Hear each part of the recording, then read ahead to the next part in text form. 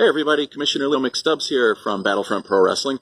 Wanted to talk with you today about The Revolution Begins, coming up on Friday, August 24th at the Ludlow Elks. Bell time's 8 o'clock. I'm going to start off with a little bit of bad news today.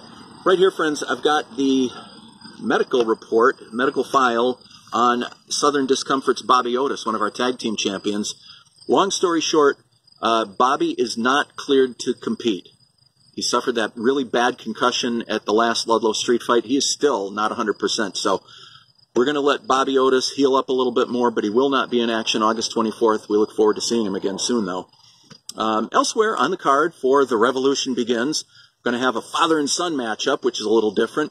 We're going to have Buff Incorporated against the Nastics, Nate and Fantastic Jim. It's going to be a treat to see Jim back in the squared circle. Elsewhere on the card, the Immortal Phantom, along with the Warden, will be taking on the great Nuka, and his manager in the corner will be El Presidente. So that'll be a treat in the American Lucha division. Uh, elsewhere on the card, you've seen these videos on Facebook already, just burning it up. The evil clown Jekyll against the spectacular JC. Jekyll attacked somebody walking on the street doing his little uh, dance and everything. Uh, spectacular JC talking to a Ronald McDonald head. These guys do not like each other. This one is going to be settled once and for all on August 24th. Now, the Battlefront Championship will be on the line.